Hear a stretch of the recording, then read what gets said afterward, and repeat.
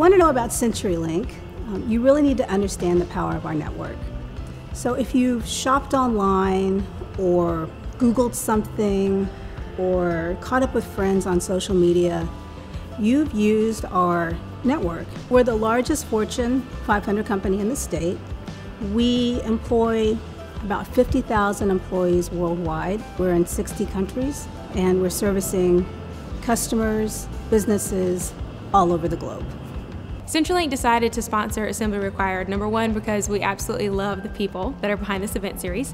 Uh, number two, we really wanted to see what our brand could do in a new area like this, um, diversifying that brand placement, uh, that brand perception, and just sort of to see what could happen if we stepped out of the box a little bit with sponsoring speaker series like this.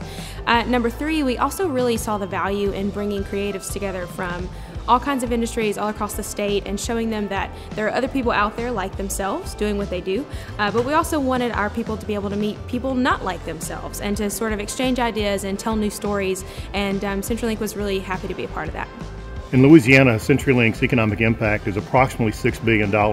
We've invested nearly $1 billion in critical infrastructure for the state, and even though that's one of our smallest serving areas population wise in the country. It's not just our network that is global, it's also our vision for the future. We've worked hard to bring talent here from, from many different places, and, and our goal is to make our company in this area a destination for talent from all over the world. The diversity aspect of this for a com company our size is really critical.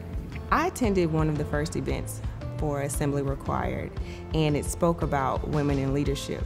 For CenturyLink to find value in employees or women to attend, it definitely makes my heart smile to know that they're investing in employees and women to be strong, to be resilient, and to find that common ground and to speak with like-minded individuals. I think that being in a creative field and being a creative person in technology is extremely important because the people who are creative, the people with imagination, are the ones who lead the way of adoption.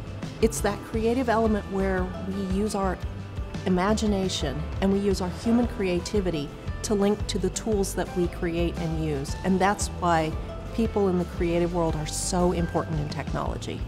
Assembly Required is a great way for you to step up a little closer, be inquisitive, challenge yourself, and see the opportunities that are out there in front of you in the state.